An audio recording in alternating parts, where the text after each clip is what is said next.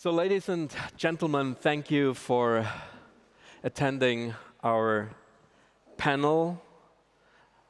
The uh, conference language is English, and uh, we're delighted to uh, have our experts coming from all over Europe today to join us in our discussion about Europe and the digital economy. We stand on the brink of a new industrial, I've learned by Mr. Höttges, evolution, not revolution, driven by new generation technologies such as Internet of Things, cloud computing, big data, robotics, and most of all, artificial intelligence. Recent studies estimate that digitalization of products and services can hold add more than 110 billion of annual revenue to the European economy in the next five years. The digital economy is growing at seven times the rate of the rest of the economy in Europe, but this potential is currently held back by many factors and we're about to find out what factors are determining the digital future of Europe. We would like to discuss the challenges and all and foremost, hopefully, the solutions. Please welcome our distinguished guests as presented in alpha alphabetical order. Um, please welcome Michael Böhmer. He's partner at EY Econ and EY Economic advisory at EY Germany, Ernst Young. Thank you. Welcome. Thank you very much. Viktor Mayer Schönberger, he's professor of internet governance and regulation at the University of Oxford. Welcome. Marie Elisabeth Rusling, she's CEO and member of the board of Business Angels Europe, located in Brussels. Welcome. And we welcome the Chief Competition Economist of the European Commission in Brussels. Welcome, Tommaso Valletti.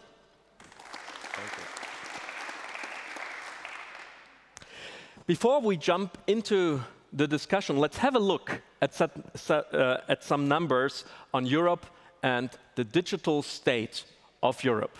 Please have a look.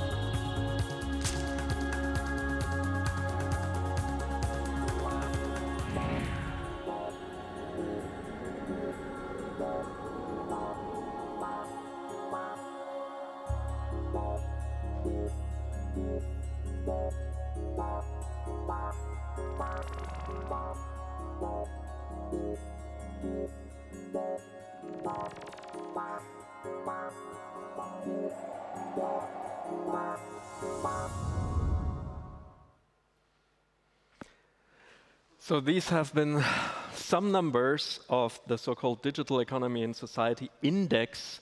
Uh, most recently, there have have been uh, the most recent numbers been published by the EU Commission. If you're interested, check out the website of the EU Commission. There's an updated document waiting for you there. I now would like to ask our panelists, our experts, to share their views on our subject in an opening statement, 10 minutes each. Problems they identified, and uh, as the, uh, mentioned before, we're interested also in ideas and measurements to overcome those challenges in order to boost the digital economy in Europe. In alphabetical order, uh, Mr. Böhmer, would you like to share your views, please, with our audience? Thank you very much. Ladies and gentlemen, I'd like to talk about trust, just like Mr. Padoan did at, at the end of his speech uh, yesterday. And you might ask, hey, why is this guy talking about trust? He should talk about digitization. Um, and you're absolutely right. Trust is generally really not the first issue that comes into your mind if you talk about digitization. But uh, I would like to sketch out for you that trust is really the fundamental factor if the digital transformation of our economy and our society in general is to be successful. In this regard, by the way, capitalism and digitization have a lot in common. Trust, as you all know, as economists, is one of the most valuable assets in market economies. Why? Well, simply because uh, it's completely impossible to define every last detail of a transaction in terms of a contract. It's the trust in our counterparts that encourages us to enter into deals with people we've never seen before in our life. And just as important is the trust in institution. So if an individual culprit should try to take advantage of us, we can rely that institutions design rules and we can enforce them if necessary. If, however, trust is lacking, transaction costs escalate dramatically, they become prohibitive. And the market economy simply would no longer function. By contrast, mutual trust reduces transaction costs and is one of the main drivers of economic growth. It's a form of social capital. And now consider trust in the context of digitization. Here, believe me, it's even more important. From its perspective of a user, we've heard that before, many processes are completely anonymous. Whether online purchases, online sales, whether uh, a banking transaction, whether uh, you do a post on a so-called social network, for every, every of these visible transactions you see in the surface, um, there are numerous invisible transaction being carried out in the background, namely transaction of data. And in principle, and uh, to a certain extent, more or less uh, a certain extent, every one of us is aware of this fact, of these transactions in the background, but nobody knows exactly what takes place there in detail. We simply trust that, well, nothing bad is going to happen to our data. Now, certain digital innovations want to make us believe that trust is obsolete. Uh, but we should not let fool ourselves here. The argument, for example, uh, that the blockchain does not require trust because each, tra each transaction is immutably documented on thousands of computers, this argument, uh, sorry, is simply misleading. That's not true. Because if you conduct a transaction in bitcoins, of course, you place your trust in both in a system as well as in people. Of course, you trust that the number of honest users is large enough to prevent possible manipulations. There's no guarantee for that. You trust in it, you don't know. And in my view, I'm very convinced there's no digital innovations on the horizon that eradicate that need for trust. And this, by the way, is uh, also good news for society in general. Recently, digital trust in digital enterprises and their business models have been shaken to core repeatedly. We all know these examples whether it was large-scale hacks of user information or whether a social network decided to provide sensitive data to third parties, by the way, making hackers' efforts redundant, so probably more efficient.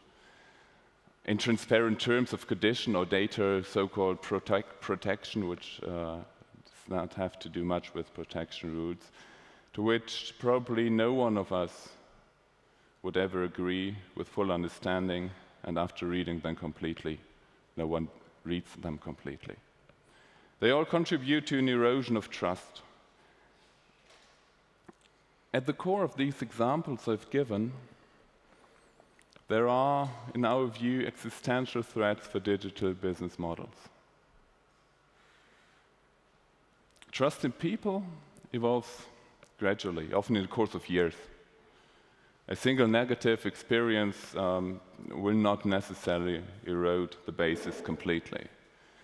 On the other hand, trust in firms or trust in systems lacking such emotional relationships as in people, they're quickly destroyed.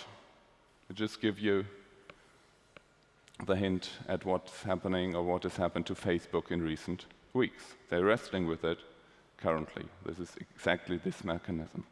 Therefore, firms with digital business models um, have one imperative, and this imperative is be more transparent.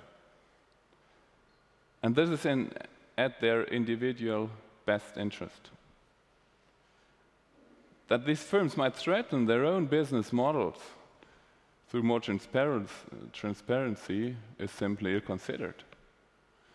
Because transparency does not imply sharing detailed specifications of each and every algorithm. By the way, one would perhaps see that the one or the other of these algorithms are not that intelligent as they make believers, make us believe. Transparency, in fact, um, requires, that, requires that firms enable the users to understand which data on them is collected, not more, not less how they are analyzed, and to which uh, use they are put. And trust in data security is the indispensable foundation for long-term success of digital business models. In this way, data security and data business models, they are not a contradiction. They are indeed complements, they're really complements. The same mechanism I've tried to describe for companies holds for states and their relationship to the citizens, even as um, administrations undergo their own digital transformation. If I am just, for instance, if I am to accept that my fingerprint is among the data stored in my passport, um, there must be considerable trust that the same state's police will not automatically be able to access this information. If I don't have this trust, I would have problems to, to agree to give my fingerprint, of course. But the role of the government goes far beyond. It's fundamental for the success of digital transformations and can thereby, to come back to our title, uh, contribute really to reshaping Europe. On this, just a couple of points. Digitization requires an institutional framework. We all agree, I believe it requires regulation. But note that regulation, of course, does not imply maximal interventions. Extreme solutions, we all know, tend not to be optimal in economics. Uh, they usually are not, but any solution is somewhere in the middle. And the challenge here for the regulators is uh, to find the right degree of regulation. That is, of course, not simple, but that is necessary. And with uh, It's uh, General Data Protection Regulation. In Europe, we've already talked about it. Um, Europe has taken, in our view, really a big leap, and uh, by the way, the world has taken notice of it. In the upcoming years, it will be interesting, will be fascinating to see whether this regulation turned out to be the required step in the right direction, and uh, just personally, I'm very confident that it will. In the context of regulations, states have to consider the economic interests of firms, but also the economic interests of the employees.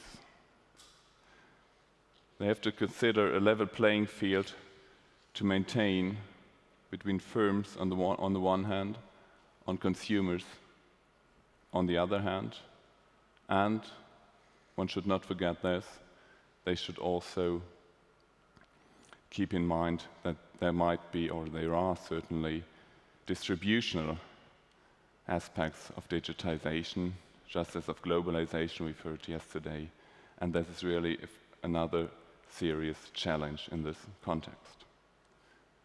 And this is, of course, a huge task for, for the states. Actually, it's a huge task for Europe because there are no di digital business models one can think of that stop at national borders neither physically nor economically, because just the economies of scale in digital, digi digital business models, they are just too big. So national regulations would, in a way, um, pervert the idea and the possibilities of digitization. But if we find solution for these tasks in Europe, we would not only enhance trust in digital transformation, allowing us to, to reap the associated economic benefits. No, we would also mm, well, rejuvenate, if I can say so, trust in Europe itself.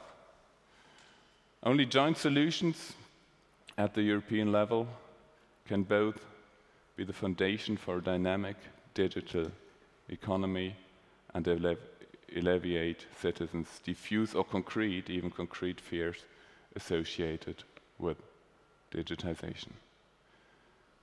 The, business, uh, the, the, founders of the European community some 60 years ago, they undertook, a visionary project for peace and security. Digitization is not a matter of war and war, peace in the original sense.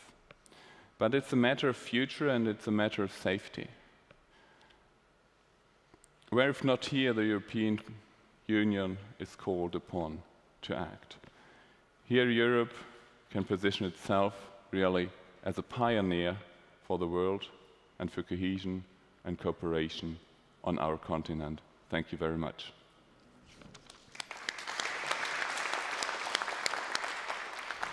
Thank you, Mr. Böhmer. We will discuss this in detail in a bit.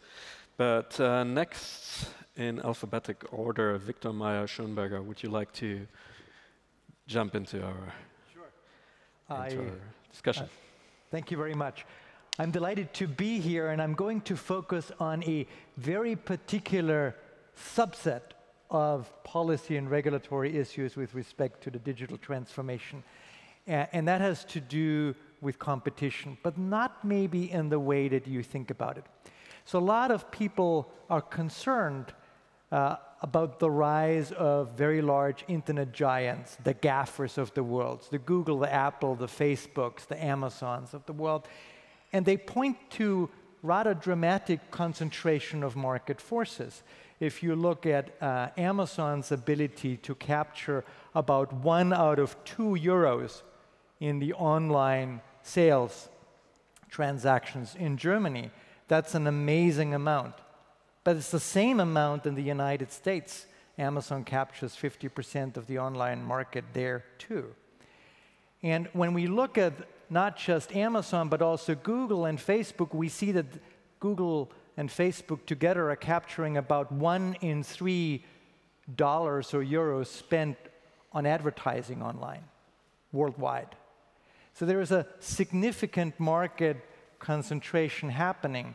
And a lot of people are concerned that those very large internet giants become larger still, that there is a concentration around a small number of companies, and that this means and signifies a revival of the firm, a revival of the company uh, as a large organizational unit that is able to capture a lot of revenue and to translate it into high profits.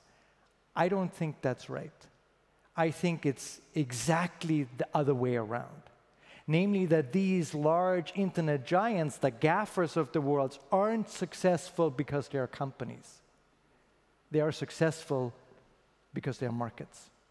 Because they are running a marketplace in which they are able to capture a lot of the transactions and therefore generate significant revenues and profits.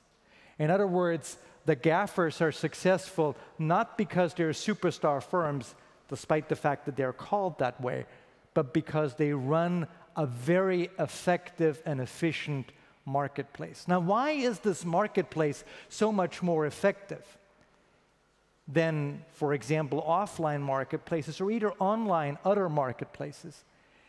And the magic here is that they are extremely good at matching preferences on markets together.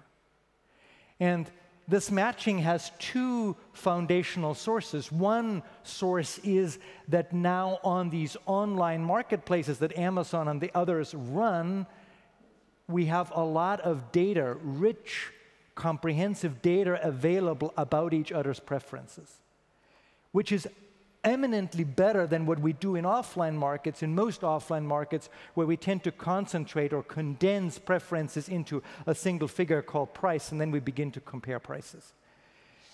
On online markets, we can go beyond that. We can do uh, preference uh, matching based on rich and comprehensive data. And we can do that at relatively low cost.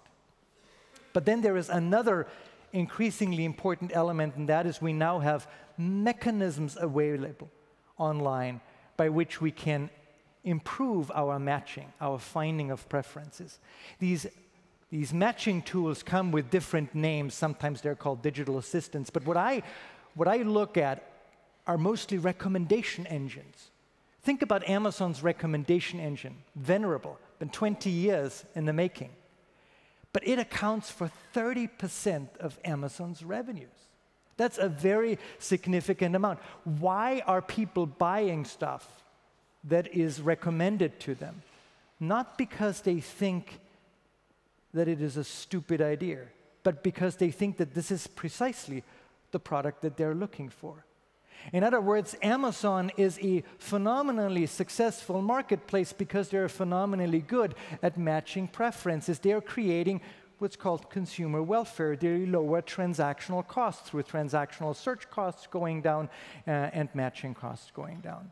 There is significant consumer welfare being generated by the GAFAs. And that is why everybody and their mother moves from offline markets to online markets, at least over time.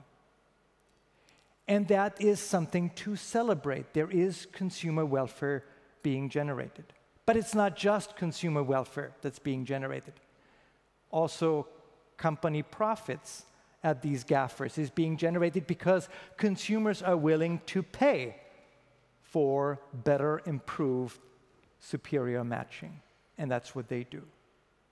Now, looking at those large marketplaces, we find that they have the data and the, the data is being shared about the preferences and they have the recommendation engines, the digital assistants available that, that enable and fuel and facilitate that matching.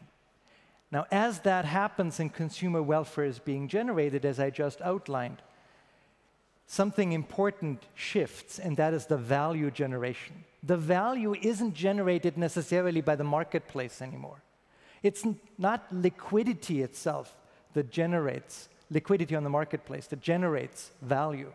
What generates value is bringing the people together that uh, then produce transactions. The matching is where the value is being generated. How is that value being generated? It is being generated through those recommendation engines that are in turn driven by data. Data about preferences, which of course those marketplaces have because they capture all that data. In other words, the GAFAs are so successful because they're successful in matching. They're so successful in matching because they have the data from which they learn how to match the people and the preferences. Now, so far, so good, or not. But what does this do? It creates something that we don't like in markets. Not market power, but centralized decision making. Let me explain. Markets are phenomenally successful and robust and resilient because decision making in markets is decentralized. Everybody makes his or her own decision. And so if somebody makes a stupid decision, then the market doesn't go bust, and therefore the market is resilient. But when we look at markets like Amazon's online market, what we see is that a third of all transactions are based on a recommendation that comes not from the individual or the friends of individuals, but from a centralized recommendation engine. In other words, we have a centralized authority that assists people in decision making and therefore creates a centralized decision making dynamic. This means that the resilience and the robustness of the market depreciates. In other words, those online markets are superbly successful because they create consumer welfare. But by doing so, they undermine the fundamental quality of what makes markets markets, namely decentralized decision making. And when we look at them and we go further down the road, what we see is that we have a market that essentially at the end is more like a planned economy, where there is a centralized decision making assistant that tells more and more and more often to each one of us what we actually should do. So, what can we do if we have a centralized planned economy? In the making. Then it's not only a power problem, it is also a problem about resilience. There is a single point of failure. I am not suggesting that Amazon is deliberately driving us towards a particular brand or product. I'm suggesting that this bias may be built into the recommendation engine and Amazon might not even know it. In other words, we may look at Amazon's marketplace and see there is a single point of failure, and that is that assistant, that digital assistant uh, in the center. If that's the case, then we need to worry because if then that single point of failure fails, not just a single transaction goes wrong, but the market goes bust. And that is incredibly dangerous. Now, what can we do about that? Some suggest we need to break up Amazon or Apple or Google. I don't think that's a particularly good solution. We've seen with AT&T that if you break something up and wait 20 years and don't do anything about it, uh, then AT&T is back. You fight the symptoms and not the root cause of the problem. Others suggest that we need to tax them. Tax is redistribution of the outcome, of the output. That's a perhaps a nice idea, but it doesn't address the root of the problem. The root of the problem is that Amazon's matching is so superior because Amazon has all the data that makes the matching superior. And therefore, what we need to think is why can't other matching assistants be successful on Amazon's platform? And it is because they don't have the data. They have no chance. And so, my policy recommendation is to think innovatively about mechanisms for making the large GAFAs share some of their data, not expropriate them from the data. They should still be able to use the data as they see fit, but let others, in particularly smaller and medium sized, innovative, competitors have access to a slice of the data, of course anonymized and all that, of course randomly selected, and therefore then have the raw material to be successful. This is nothing outlandish. We already do it in Germany in the insurance field. We have insurance data pools. We already do it in the United States. When Google bought ITA, a travel back office company 10 years ago, the Department of Justice forced Google to share its data with its biggest competitor, uh, Microsoft, for over 10 years.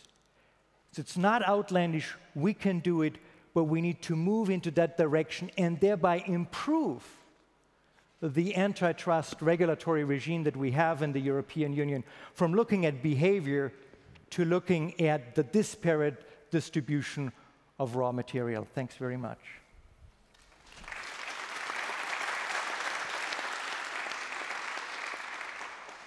Marie Elisabeth, would you like to continue, please?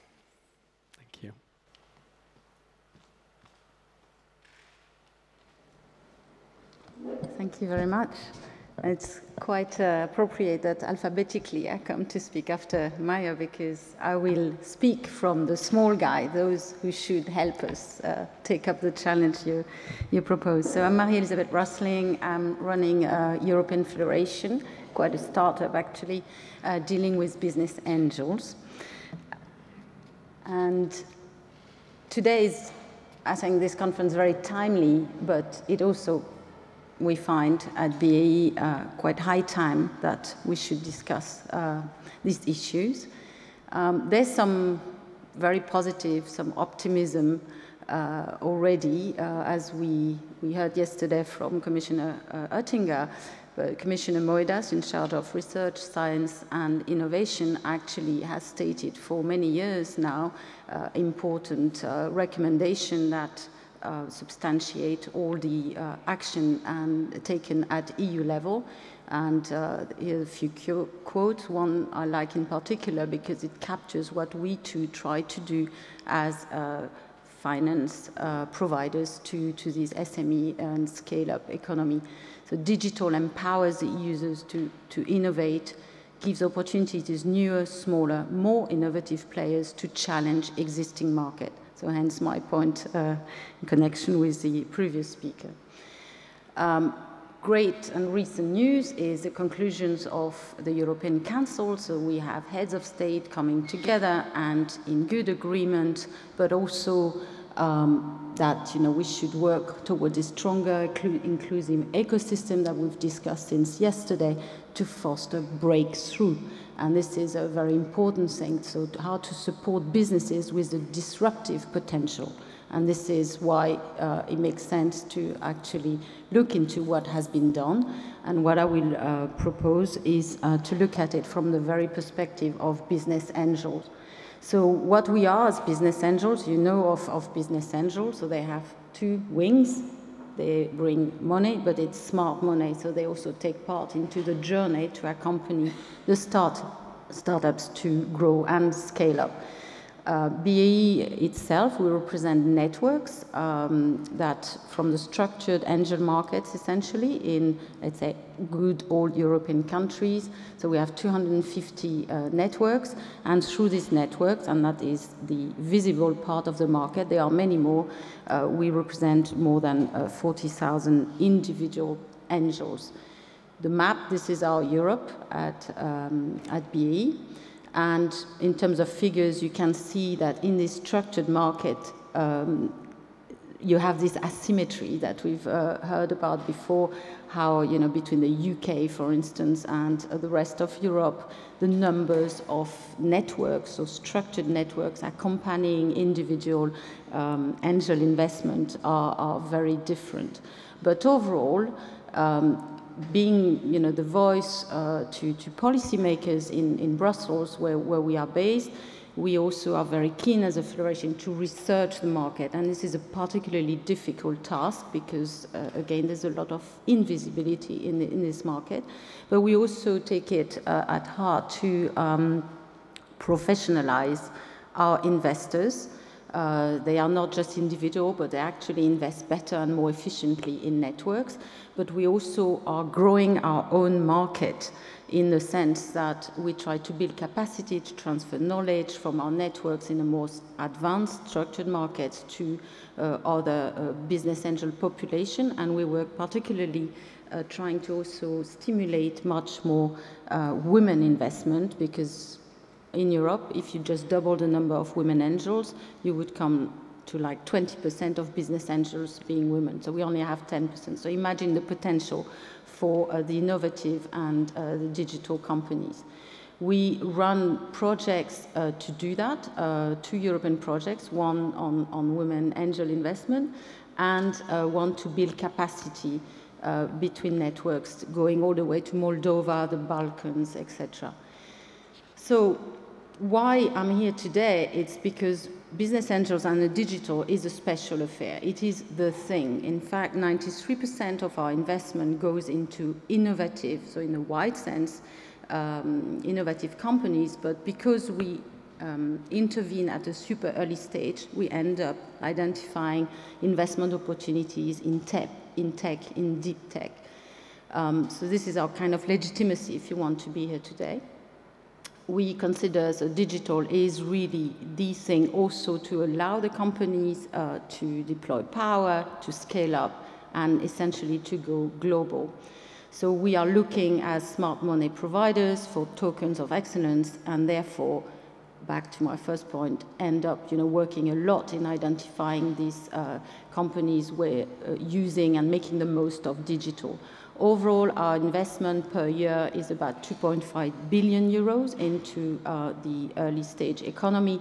But what we see more and more, and this is a very important factor on the role of business angels, is that we actually create, generate a leverage effect uh, so that bankers uh, looking at early stage, but also funds, VC funds coming uh, also closer to, to startups, uh, will then complement the initial investment of the angels. So we consider we have some special insights to share.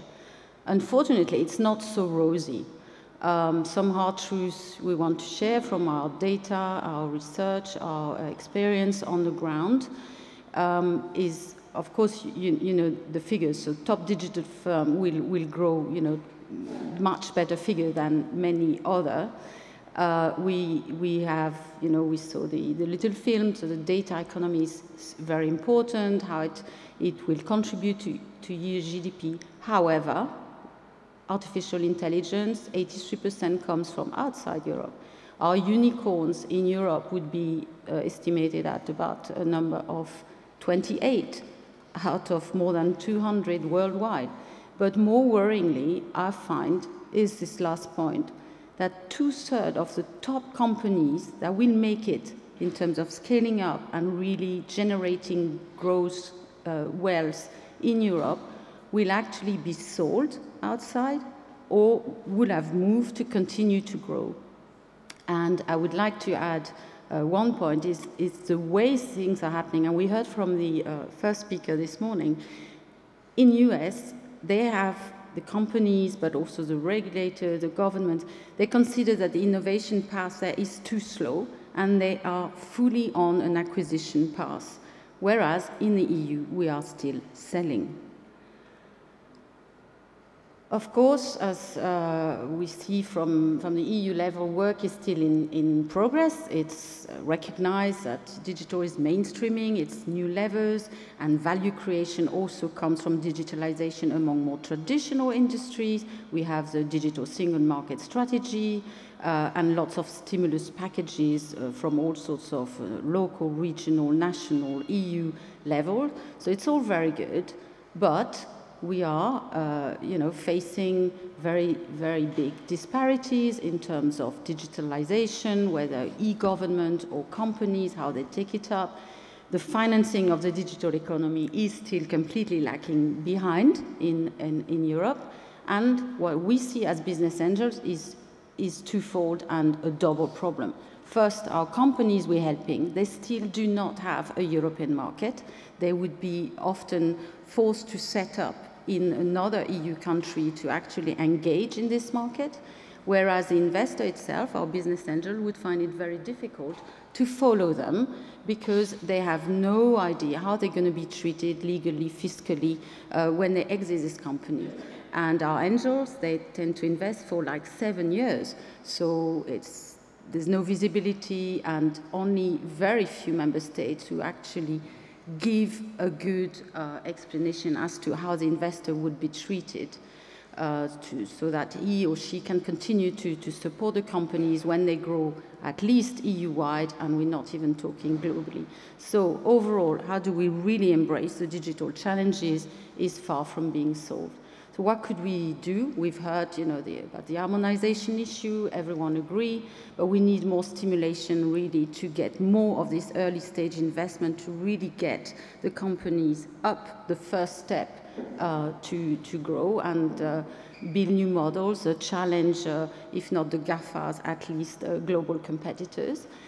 I would like to add that in our experience, we find that we should also bridge another gap, which is a gap between the digital hubs and their peripheries. We are faced with too many sort of deserts between digital hubs and super digital cities, smart cities, etc. So the um, uh, digitalization really is, is uh, not connecting yet all these different uh, hubs. And there's a kind of fashion, or maybe it's fad, uh, for, the, for the decision maker to look at these hubs and see how great it is, whether it's Munich and the region and others. But in between, you know, what, what do we do about it to diffuse, disseminate uh, digitalization? The education challenges, the training of people, the upgrading of skills, of course. So all this should unlock potential and should be dealt with now. So we really work towards a single market. How it can be done, we have three uh, proposals. One is to really look at, at, an EU regulation for startups, which would mean when we have an SME definition, we do not have a, a European innovative company definition. And that would help, be helpful because then you could imagine that for those who invest and take the huge risk, or like angel investors, to invest in this kind of super innovative companies, our future, then we could perhaps uh, think of recognition equivalences of a sort of passport for individual investors, like has been done for uh, some funds uh, a few years ago. And as I mentioned before, how do we bridge the gap and connect the ecosystems in our, in our Europe? And um, that's how we need to, uh, in our view, continue to, to work at regulation, uh, at the regulatory level, but also with the companies, but with investors' networks to create this smooth market we all need. Thank you. Thank you very much, Ms. Rusling. Tommaso Valletti, would you like to conclude our introductory speeches? Good morning, and thank you very much for um, having me on this very interesting panel. I currently work as a chief competition economist of the European Commission, and I would like to give you a few ideas about competition in general first, and then competition and digitization in particular. So, general trends in competition, there is a very heated, interesting debate which has started a couple of years ago coming from the United States on uh, increases in concentration globally, states first and then globally. There is some evidence that, I'm not just talking about digital markets, but um, uh, more generally, across the board, there is evidence that, that uh, some indices of market concentration has, are going up in the past 30 years. So 80% of US industry had some increase in some concentration measures over this period. Over this, the same period, the share of GDP that goes to profits has been going up. The share of GDP that goes to the labor force has been going down. Okay? These are really trends. Um, the margins that firm make, so the ability to charge above some measure of cost, has been going up. Some more trends on dynamism. Every year, firms are created and firms disappear. So a health economy is one where there is more entry than exit, you know, because this is a dynamic economy. And this uh, has been historically true, but not again in the past 20 to 30 years. We still have more or less the same exit, so firms die as much as before, but there is much less entry. Okay? So it's more difficult to enter markets. And this is happening also in an historical period where, as you know from the work of uh, uh, Thomas Piketty, the levels of inequality, especially within country inequality, is going up. Because these are general trends. As I said, it is a heated debate whether the data which are put forward are meaningful. Uh, people disagree on the causes of this, of, of, the, of, the, of this possible concentration. Some people argue it is the lack of antitrust enforcement, so the, the, the blame is on people like me. We didn't do our job enough in the past. Other people point more towards globalization uh, or technological changes. So having looked into this data also for Europe, Europe, the situation is slightly different. Um, Europe is more static in general compared to the, to the, United States. But for sure, there is one trend which is true, which is margins, the ability to charge above cost, is, uh, is at, at, least directionally. The, the, levels might differ, but the trend is undoubtedly true in Europe, true also.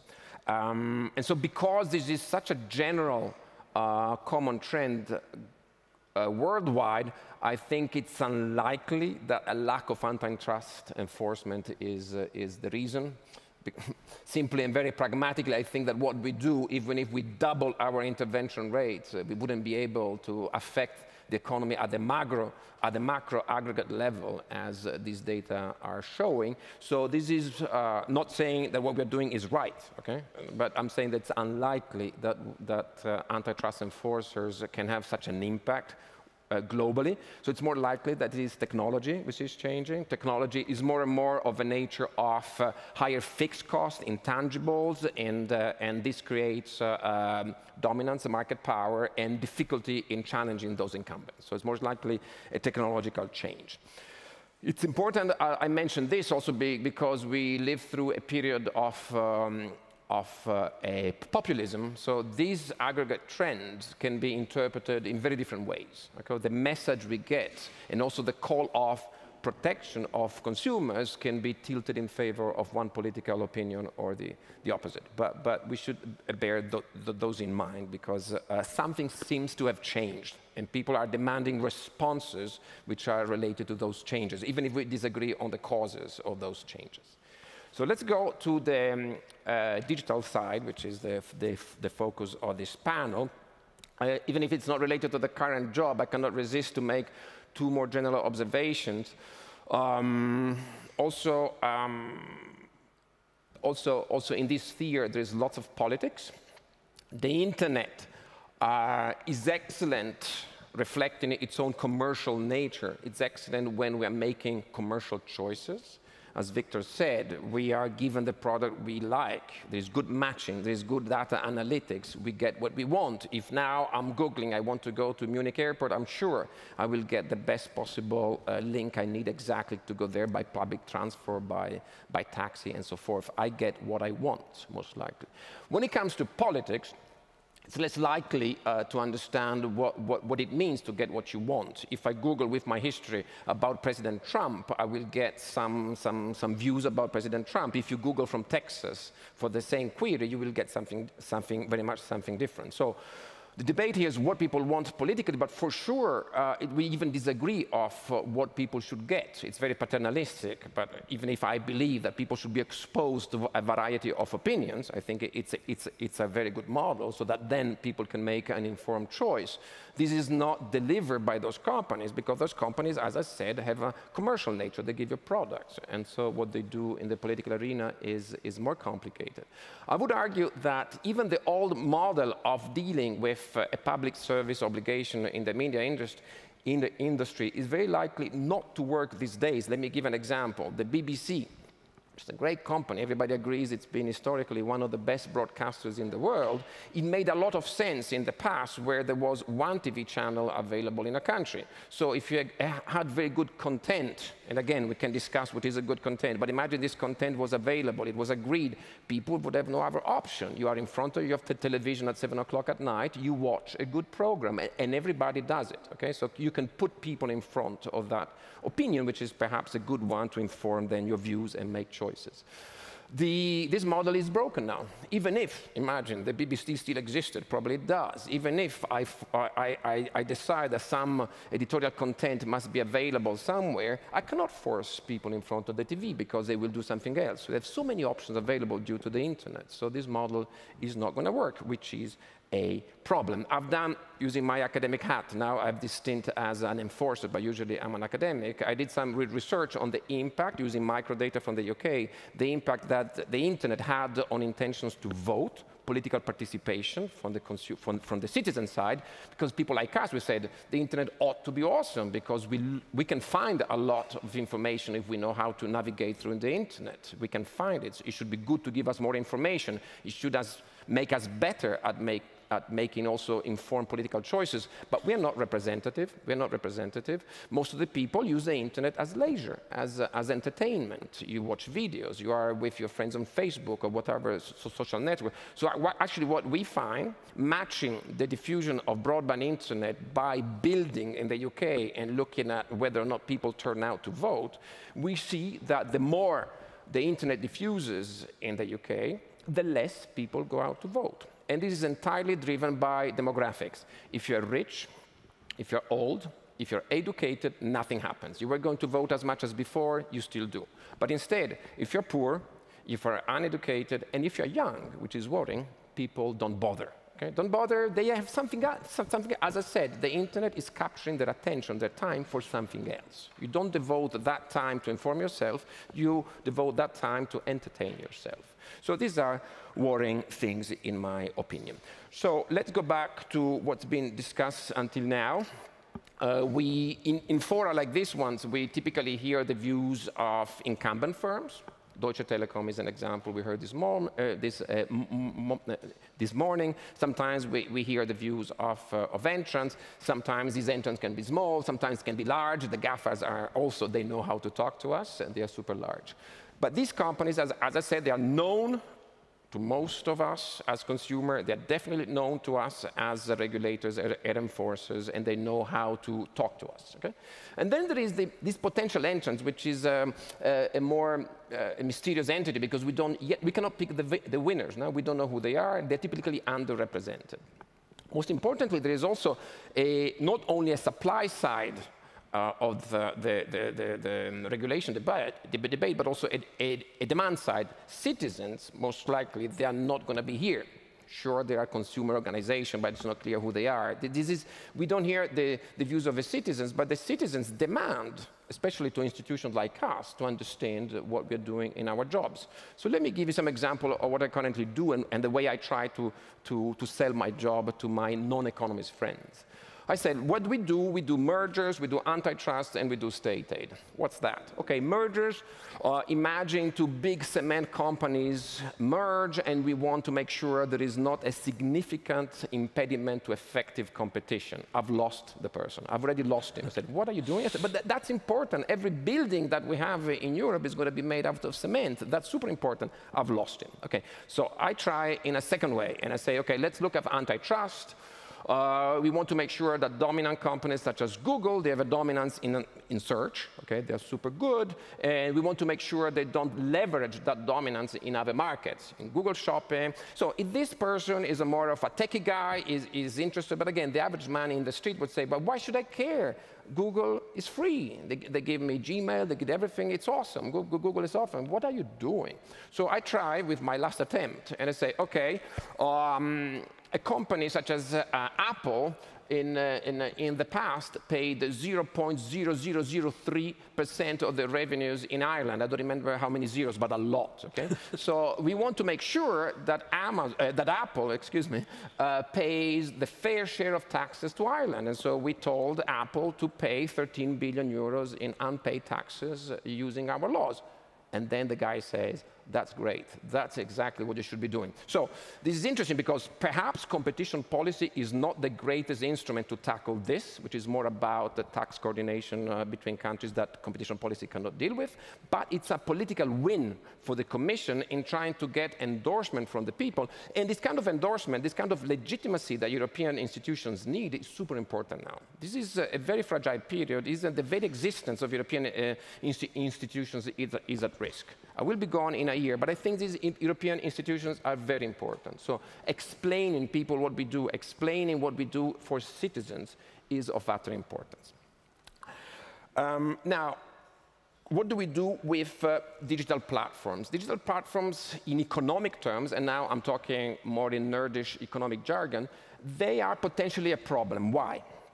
Because for the many reasons that uh, Viktor explained, these are markets with lots of externalities, network effects. If all my friends are on Facebook, I want to be on Facebook. If everybody searches on Google, my quality, uh, my, the quality of my search improves. So there is a, a bandwagon effect that, uh, that leads to, to dominance, to very few platforms em emerging in this market. So economics 101, markets with externalities of this kind, even if they are competitive, don't work. They fail. So I would expect lots of market failures as an economist in markets of this kind. If you add network externalities, this bandwagon effect, with uh, dominance, because there is the market structure is, is in the hand of very few firms, this is a, a, a, an antitrust concern. It's a big one. So I would expect more rather than less that regulators should, should be looking into those platforms because of the economic characteristics of those platforms. How, what can we do? We can do different things. We can do old-style regulation. We dealt with large dominant firms in the past, electricity, railroads, the, all the telecoms.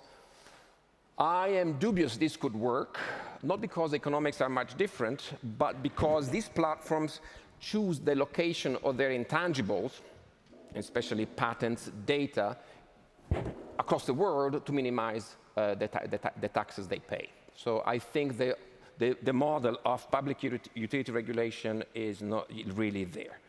Uh, we could break them up. I'm, uh, I'm um, less sure than Viktor that, that actually breaking up AT&T was useless.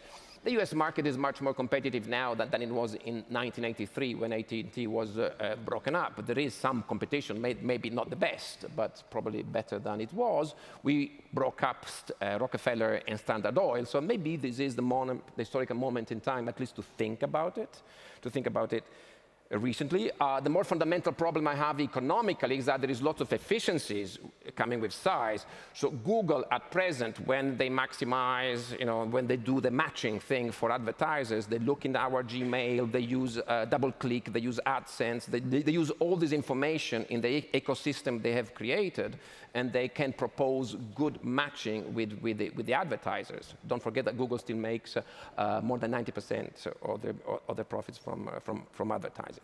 So there, there is going to be efficiency losses, I think, if, uh, if we break them up.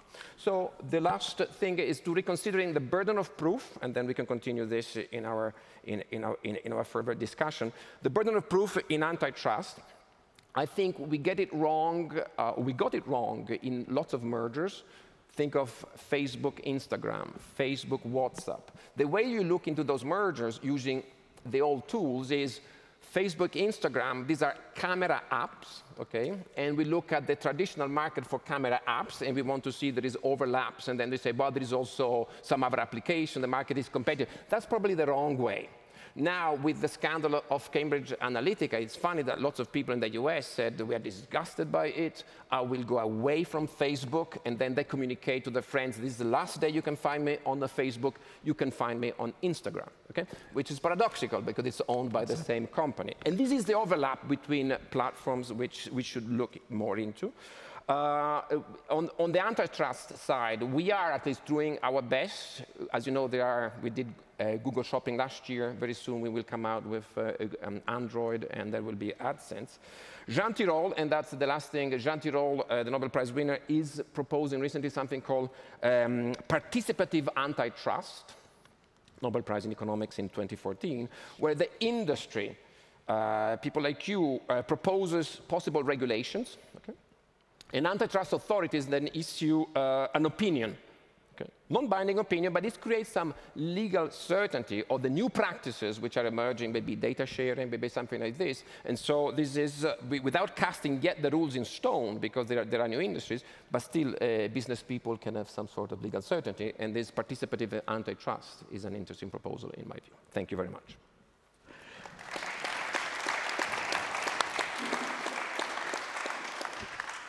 So let's jump into the discussion. Thank you very much, uh, ladies and gentlemen, um, for your contributions. And I think we have many, many topics to talk about. First, um, something that I think we can all agree on, and Mr. Höttges uh, already spoke about it, is like the superiority of the big platforms. Just in order to have you uh, uh, participating in our discussion here in the plenary, who in the plenary thinks that we should talk about breaking up big platforms such as Google, Facebook, and so on? Who, who, who is in favor for such a solution? Please raise your hand. Okay, a minority, small minority, all right. Who thinks that we should actually try to build our own Facebook, social network, uh, Google search engine, uh, Netflix for that matter, or Amazon? Who, who thinks that's, that's the right answer within Europe?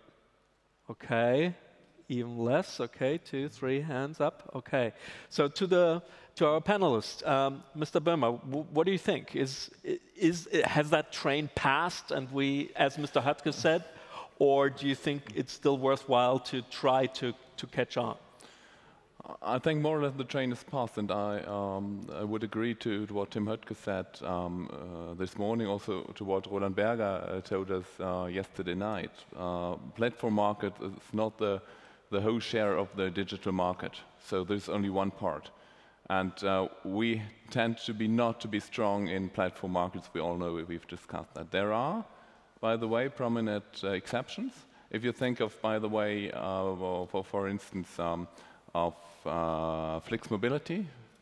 Uh, you know, all these, these green buses uh, on the streets, uh, not only in Germany, in Europe at all, they, they have expanded uh, to the rail. They, uh, you can take trains with Flix Mobility. they're expanding to the US, competing to Greyhound. And this is actually also a pure platform company that do not own any single bus. Um, they are located, by the way, the headquarters some three kilometers away from here, just in Munich. So there's really a, a good exception, uh, but it is still an exception uh, for the mobility market. So um, we are strong historically, economically, historically, really in uh, what we can do on the industry side, in engineering. I don't want to repeat everything you, you told us yesterday, um, but in all the Internet of Things, uh, we have a complementary um, competency, and we have a, a comparative advantage uh, vis-à-vis -vis the Americans, the Asians, and, and, so on. And this is really big field, and all the B2B uh, digital economy is um, nearly uh, unlimited. So we're only at the beginning. The German industry at the moment is not digitalized. So only 5, 10%, however you measure that. It's, at the moment, it is not. And there's so much potential on this side and it's not a, not a, uh, we, we, are not fools if we concentrate on this. Mr. Rusling, would you agree that we only need to digitize the economy that we're proud of and that we're leading in here in Germany, or do you think we need to to step up the game and and and add add different qualities to our already well-running well, market? There's a lot being done um, already for the 99% SMEs to go into more in innovation. What we're concerned as uh, investors seeing really this very early stage part of the market is that there's not enough focus on this 1% of SME startup. And this is you know, our plea. So we need to step up and accelerate. I mean, next year we would have new institutions, it still is looking good, the kind of kit of instruments and the investment proposed uh, uh, now to, to head of states and, and, and parliament to, to pour billions with the right instruments, but we really, really need to focus. I'd just like to add uh, that uh, less than a month ago we had a visit in Brussels, and believe me, every single Directorate General had a representative there at the parliament. We had a visit of Israeli ecosystem uh, representatives and the title of their uh, two-day workshop and trip to Brussels was Work with us to build the next Google. So back to your first question, there are still people out there, and the Israeli are very interesting uh, ecosystem and, and investment uh, ecosystem uh, to build this platform. Oh, believe me, the Israelis, so they have chutzpah. I, yeah, I can yeah, tell, I live but, in Tel Aviv. Uh, so the solution yeah. has not been completely put, put aside. Okay. Um, so there's hope, you're saying? I'm not saying it's the only way because what we're interested in as investors is really the breakthrough, the totally disruptive company, and it's not necessarily going to be in this platform. However, we're super happy to, you know, see startups in med tech, in deep tech, really looking using platforms, but for completely different purposes in the medical sector, connecting universities, research, and even, you know, industries to go into new fields. So it's, you know, it's like artificial intelligence you grow, you improve, and can be exponential as you walk. So how do we get people, teams, you know, for the startups to start walking? This is where we say focus on this 1% with potential for disruption. It's an interesting time right now where we're discussing uh, here in Munich uh, this digital economy. We have in Brussels a, a parliamentary session on the copyright directive, and um, we also call it the Google law or anti-Google law, whereas like the publishers try to get a foot into the market that they they have lost over the years. How do we prevent, um, Mr. Mayer-Schönberger, that what um, Ms. Rusling was just mentioning, that in the fields and areas where we are leading right now, medicine, um, automotive, and so on, this is not happening again, that Google, with all its data and, and, and superior uh, power, can overtake our, our traditional economy. We already, have, we already have lost automotive. Don't worry, it's already gone. We have no lead in automotive anymore in Europe. Forget but we have record-selling numbers with Volkswagen but that year. doesn't matter. But that doesn't matter in terms of innovation. And this is the point. I'll go out on a limb. I'll take Tommaso's lead here, and I'll, I'll go out on a limb here and say the fundamental problem that we are facing, a bigger problem beyond platforms, is that for a long time we have seen concentrations in markets because of scale economies, because of network economies, because of these externalities. But there was a counterforce, and the counterforce wasn't antitrust law. The counterforce was innovation. That is human ingenuity that came up with new ideas that enabled new entrants to produce services or products um, at, at, at, a, at a quality or a cost that the incumbents couldn't do. And so innovation was the counterforce to market concentration based on scale network effects. If innovation is no longer human ingenuity based, but data driven, then the innovation dynamic, the innovation force, is not the counterbalance to scale economies anymore, but is aligning with scale economies. Those that are large have more data and therefore can be more innovative. And that's what we see. The Google self-driving car drives between 400 and 600% better than the self-driving cars of European auto manufacturers. Why? Because Google has about three orders of magnitudes more data. Uh, so much for optimism in this discussion. Uh, Mr. Valletti.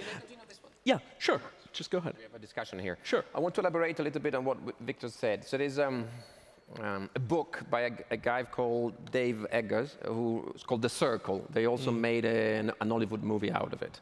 And there is a, a scene, uh, so this is a company which is a mix between uh, Google and, uh, so it's, it's Google basically, this, this company, but it's not called Some say way. it's Facebook. And yes, it's a, it's, yeah. a, it's Google and Facebook, that's right. Uh, the, and there's a, um, somebody who just joins the company, and then uh, the, the, some, a colleague says, now it's plankton time. Okay? What the hell is plankton time? No, This is a model, the moment where all the Silicon Valley small entrepreneurs, the plankton, they come here and they hope to be swallowed by the giant whale. Okay?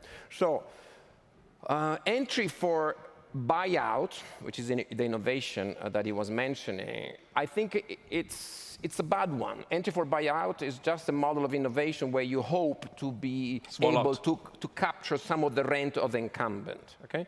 So this kind of entry is something that we should try to prevent. Innovation is important, but innovation to become a contestant. Other, other, otherwise, so Google, going back to Google, they bought, we know, YouTube, they, they, they, they bought Waze, uh, they bought DoubleClick, they bought uh, DeepMind, and many more and many more. Some of these transactions don't even come under the radar of, of antitrust authorities because given the tools we have, I can look into a merger only if it is above a threshold. And the threshold is based on the turnover of the last year. Some of these companies don't have turnover. So I don't have the powers, okay? I don't say, I'm not saying that I should have the powers, but if we don't do anything, going back to the original question, antitrust will not be the right tool, just because we don't have any tool in that sense. Either we sharpen those tools, or perhaps the only option is regulation then. It's Okay, but regulation. let me, let, me- let, let me throw in a, a, a, a term that was coined this morning by Mr. Höttges, co-opetition. So would you say that we need more competition or more cooperation? We need, okay, and now I'm talking uh, as an enforcer, you know the answer. We need a, a lot of, currently Europe is getting more and more lonely, we know that, okay? It's been said in this, uh, in this conference many times. And uh, as, as a competition authority, I am the loneliest of all because people don't, in a moment of crisis, telling people competition is good is not a strong message because people perceive competition as, or lack of, whatever, whatever people uh, associate with competition as what's been driving towards this moment of uncertainty, political uncertainty, of high concentration, et cetera, et cetera. Instead, from my point of view, and, and you can hear now, there is calls for, once used to be called national champions, now they are called uh, European champions, and there is a little bit more- of a nuance. I don't think that's the way to go. Competition is almost a synonymous for, for, for, for competitiveness. So if we don't have a comp- competition, we don't have a comp- com- competitive. So I think we, sh- we should strengthen the competition angle a- a lot. What I don't get is, um, on the one hand, we don't want like big, super megalomaniac uh, companies, and you're here to prevent that uh, to happen. And on the other hand, there are like startups who hope to become competitors rather than just you know, like being sold out by the big, big, big four, big five by now. So, what what would you suggest? How can we break through that like circle? a vicious circle that like the big big super platforms like buy out or all those innovations coming also from Europe um, just like a black hole like just you know taking them over and making them part of their corporation rather than building our own markets here Yeah, this is what it is about. It's building our own European system and also investing into a way that we can see the effects of our investment in education, in getting you know these companies to start, in the efforts made you know from the regulator, from the policymakers, all investment. If then you have to leave the US. You know, when startups go to the US, they save eight times the effort in time and, and money just to find the next round of investors. It's you know this this kind of comparison, and we're not even talking of them selling their business. It's just to continue to grow.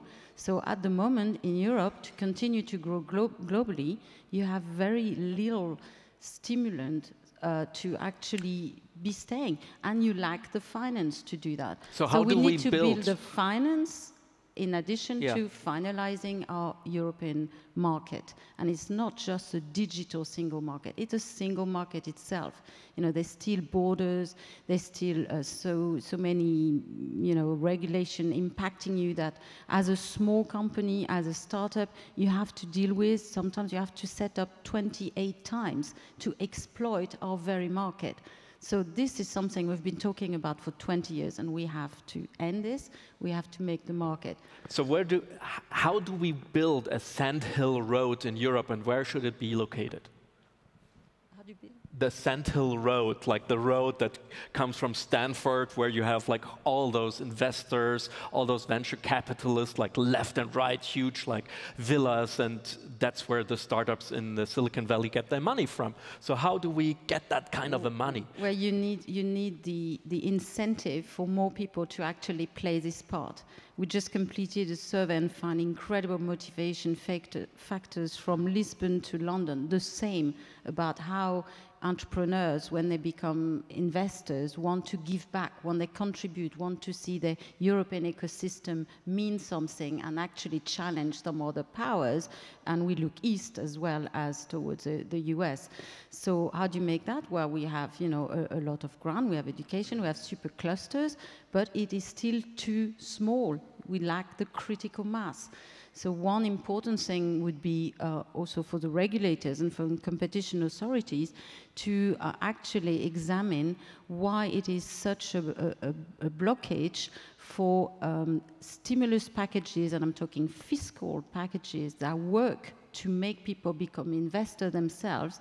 How is it not um, happening and usable in another country? How is it still, because of the national competencies in, in fiscal matters, uh, still you know, applies essentially only to residents of your country? I think only one country like France and perhaps Germany, in a way, with the Invest um, grant uh, scheme, is also letting uh, these packages apply to investors who would come from another country, provided they invest in a startup in Germany. That makes two countries and it's not 100% uh, compatible out of 28. So why not, you know, use this, the, the, packages that work better in other countries? And one big issue is the, the way the regulatory and competition authorities will look at the application of this scheme to other countries. So that would mm. be one important thing to look at. Before I hand it over to the plenary, I would like to ask uh, finally um, Mr. Böhmer, because he uh, uh, introduced us to a word uh, which we haven't discussed so far, that is trust. Mm. Trust, we also heard sustainability is key um, in earlier discussions. So isn't it true that, like, despite the fact that people hate Facebook, they're still on it? They're still, as we heard, uh, use WhatsApp, uh, mm. especially in Europe. So, so the, the, the need for trust, in a way, is, is yeah, it's, it's, it's nice to have, but is it really key in order to, to building flourishing markets? Or is mm. it, on the opposite, too much regulation at the point where we cannot afford mm. values such as trust? Uh, it's, it's both. First of all, Facebook is just convenient. Just easy to use. Uh, it's uh, easy to get in touch with the friends whatsoever. Uh, so just uh, uh, convenient. But on the other hand, I, I believe it's true what, what I said before in my speech that people who, who, do not really know what happens with their data in, in detail, they're a bit naive. Okay, but uh, naivety can also be a good protection uh, to, to, oneself. And uh, they really believe, okay, nothing really bad will, ha will happen with my data. Uh, I'm not a culprit. I, have nothing to, to, to, fear whatsoever. It's, it's okay. It's, I'm just one among millions or millions or, mi million or billions of, of users, so um, there will nothing bad happen uh, to this data. Uh, but on the other hand, uh, uh, we've seen from, from recent uh, developments, uh, Ox Oxford Analytica, companies like Facebook might have bigger problems um, if they have such an attack there than old economy um, companies, because they have only this one asset. And um, if people don't trust in Facebook anymore, their whole business model can, can, could potentially come to an end. Uh, this is different with other, with other companies who have like a history of, of 30, 50, 100 years and who have already demonstrated they can handle, with cha handle challenges, they can handle structural changes, and so on. So the, the quite uh, young history of, of companies, this, the very fast upcoming of these uh, companies uh, can also be a danger. I'm not quite, I'm not sure if, if Facebook will exist in 10 years' time. I would not uh, really do a bet on this. Okay. There so will be any other company, sure, sell but your not, stocks, please not, not necessarily Facebook. Just say I'm not sure. You heard him. you heard him. All right. Um, let's open the discussion to uh, you. If you have any questions to our experts, please uh, raise your hand and uh, we'll have a, make sure we'll have a microphone. Oh, it's over there. We start over there. Please, if you say uh, who you are, just very shortly, and who you represent. Hey, hello. Good morning. My name is Klaus Masuch. I'm from the European Central Bank, but um, what I'm saying now has nothing to do with mm -hmm. monetary policy. I was fascinated uh, by, by the talk and the discussion. I, I, heard Viktor Mayer Schönberger saying um, all the nice things economists normally like to hear, myself as well, that these platforms uh, help you to match preferences and to thereby create welfare. You also outlined some risk, and uh, the, the, the, colleague from, from the Commission um, also outlined uh, some, some risks. But one risk which I didn't hear really today, and I think that's something we may have to think about. You're, you're talking, I mean, I'm convinced that these technologies have wonderful opportunities, healthcare and many things. So the opportunities, the chances are big and great. But one risk is that it's not about matching preferences, but about manipulating preferences. And then we as economists are at the end of our models because our models assume, most of our models, that the preferences of the individual, individual the representative agent, are given. And we know that preferences can be manipulated. We know it since long that uh, advertisement have always two components, information and manipulation. But now the potential for manipulation has tremendously increased due to the data. And, and you have to wonder why Google and Amazon are hiring increasingly neuroscientists, the best of the world, the best psychologists, the best neuroscientists are highly paid at Google, Amazon, and Facebook. Why? Because they know how to manipulate our brains. And that's a danger, and there I do not agree with you that naivety is sometimes good, because if you look in the history, not least in the 20th century, naivety or looking the other way or not standing up was often, if many people were naive, then the catastrophes happened. So be careful. The, the Google and Amazon and Facebook, there's a very good book by Robert Lustig, an, uh, a medical expert from the US. He wrote that book last year. It's called Hacking the American Mind. And this was the professor who went against the sugar industry five, six, seven years ago. Uh, there is very interesting articles by Angus Deaton, Nobel Prize winner, okay. about the opioid crisis. I'm just asking you, is there not a big risk that with this big data, Amazon and Google and Facebook know myself, know everybody who uses the platform much, much better than your husband or your wife, and even better than you yourself? All right. Thank you very much, Mr. Valletti. How do we how do we deal with those neuroscientists that are growing in Silicon Valley, paying no taxes, and you're saying we shall not break them up? So so so what to do to get the genie back in the bottle? Actually, it's interesting that, for instance, uh, recently we are looking at lots of cases, and one was uh, Apple was buying Shazam, and we wanted to know this is this application that recognizes music and then tell you. So, and Apple has also. So we wanted to see whether there could be any anti-competitive concern, and so I learned a little bit about the technology.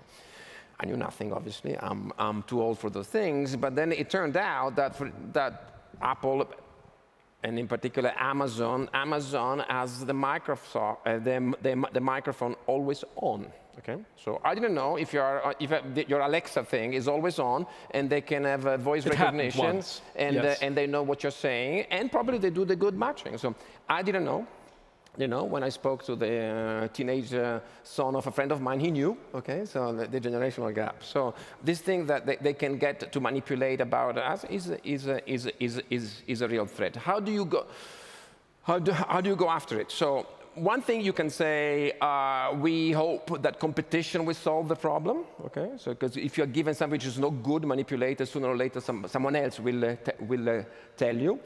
Currently, we are in a, in a situation where there are three dominant online platforms, Google, Facebook, and, and Amazon.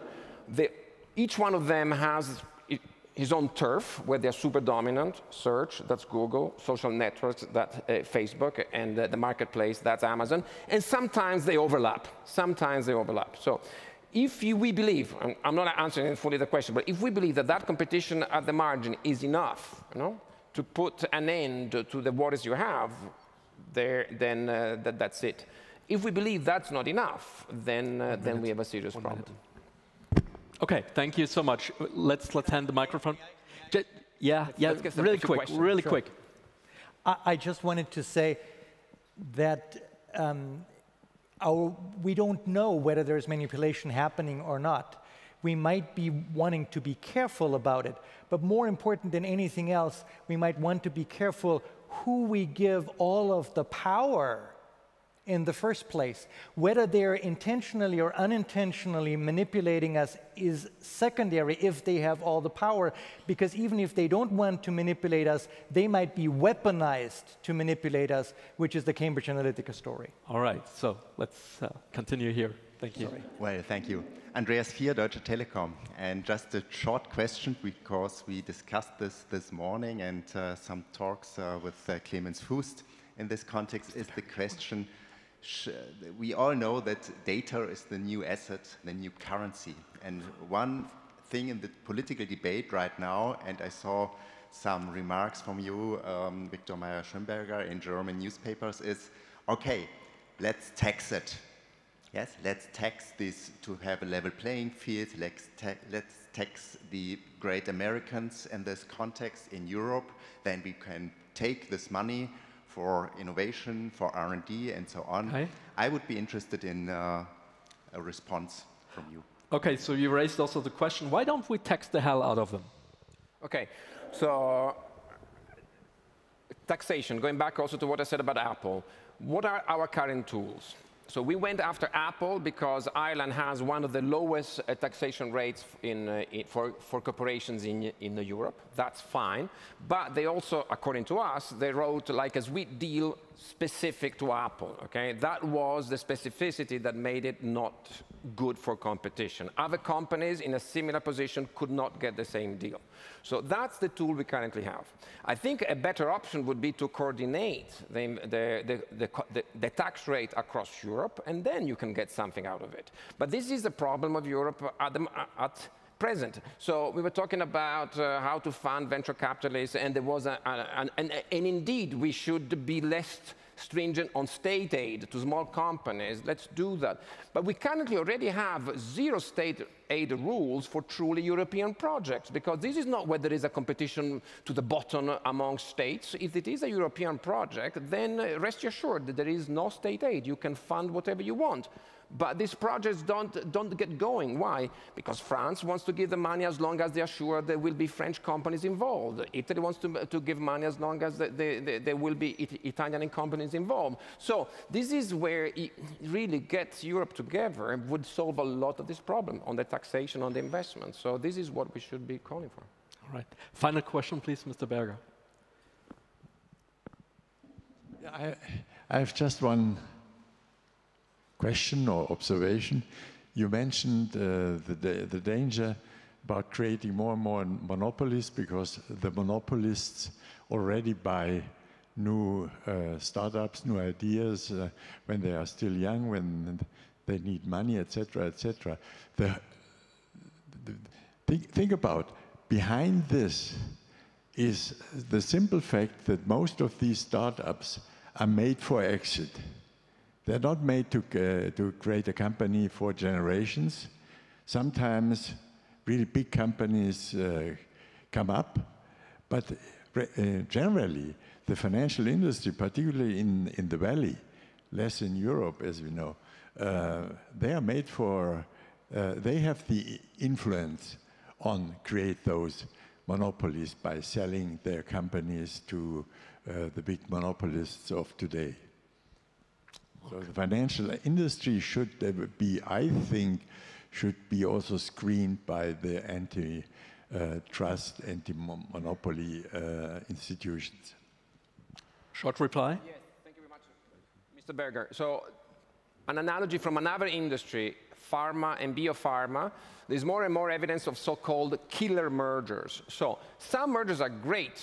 The small bio company, biotech, who needs the funds, and then there is good screening by. Those are the things we should allow. This is good for growth. But often, and this is precisely when the, the new startup, the new biochemical company is doing something which is very close in the product space to what the existing incumbent is already doing, they are purchased and then they are discontinued.